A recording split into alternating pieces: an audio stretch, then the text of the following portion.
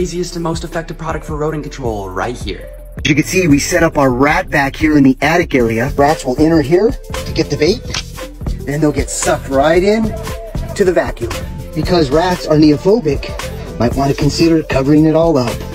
Now we're ready to suck.